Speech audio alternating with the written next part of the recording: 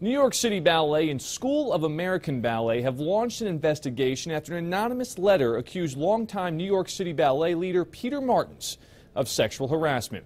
New York City Ballet said the anonymous letter did not contain any specific allegations and the ongoing inquiry by an independent law firm has not substantiated the allegations to date. The school also said that the investigation has not discovered any reason to be concerned about student safety.